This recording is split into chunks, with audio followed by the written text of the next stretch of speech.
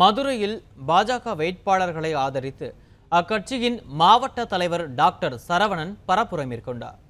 மதுரையில் மாநகராட்சி மற்றும் பேரூராட்சி வார்டுகளில் பாஜகவினர் போட்டியிடுகின்றனர். இந்நிலையில் திருப்பரங்குன்றத்தில் பாஜக வேட்பாளர்களை ஆதரித்து மதுரை மாவட்ட தலைவர் டாக்டர் சரவணன் பரப்புரை மேற்கொண்டார். முன்னதாக திருப்பரங்குன்றம் முருகன் கோயிலில் வேட்பாளர்களுடன் சுவாமி தரிசனம் செய்தார். பின்னர் மத்திய அரசு தமிழ்நாட்டிற்கு செய்துள்ள திட்டங்களை கூறி வாக்கு சேகரித்த டாக்டர் சரவணன் நகர்ப்புற தேர்தலில் பாஜக நிச்சயம் வெற்றி பெறும் என கூறினார். பாரதிய ஜனதா கட்சியை பார்த்தீங்கன்னா தேசியமும் ஆன்மீகமும் சேர்ந்த ஒரு கட்சி. இங்கே இருக்கக்கூடிய தொண்டு இங்கே தொண்டர்கள் இங்கே எங்களுடைய அத்தனை வேட்பாளர்களையும் பாருங்க.